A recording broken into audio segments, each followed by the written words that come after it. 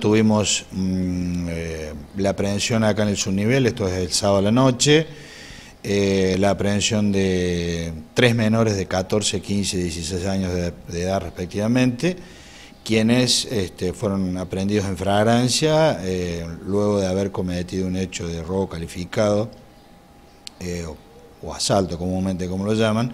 donde resultó víctima un joven de 20 años, a quien le habían sustraído eh, una campera y las zapatillas previa amenaza con un arma blanca, una navaja.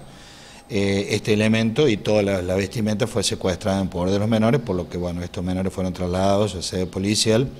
este, por los delitos que hice mención. Por supuesto, autores del delito que hice mención. En cuanto a la otra aprehensión que tuvimos, un menor de 17 años en Villanueva, Belgrano y Rivadavia, donde eh, este, a, raíz de un control rutinario que se le hace a este menor,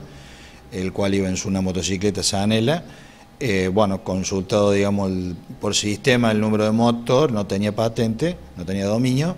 eh, la misma tenía registrada pedido por sustraída en esa ciudad.